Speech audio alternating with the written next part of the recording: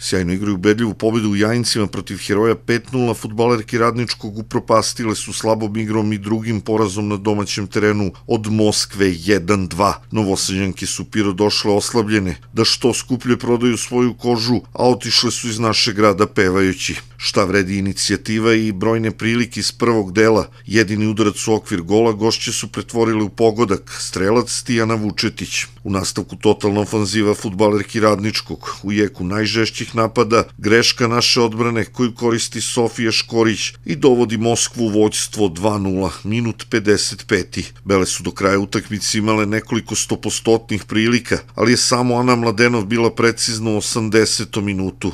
Na kraju, ŽFK Radnički 2014, Moskva iz Novog Sada 1-2. A utakmica je bila jako teška. Mi smo došli da ne izgubimo. Došli smo bez pet igračice standardni. Znači, bez najbolje igračice u ligi, Andrijane, Delić, Điđe, Dunja Trajković, znači, pola ekipe nam nije došla. Nismo očekivali ovde ništa, devojke su odičale odlično, čestite mi na pobedi. Jedino što mi je žao što imamo dve jako povrećene devojke. Čestitam mi protivniku, sve najbolje. Nemam ništa pametno da vam kažem, prosto ne znam šta nam je. Evo već druga utakmica koju gubimo a, na domaćem terenu. Lepo kažu treneri, imamo teren, imamo sve, ali neće lopta u gol.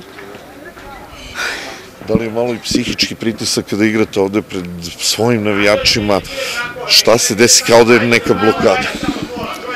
Pa mislim da nije do toga, prosto igra ide sve, lopta kruži, mislim da smo tehnički jedna od najboljih ekipa ovde u prvoj ligi, ali prosto stvarno lopta neće nas, neće nas gol. U četvrtom kolu Prve ligi Srbije, ženski futbalski klub Radnički Spirota narednog vikenda gostuju starim banovcima ekipi Prave dame.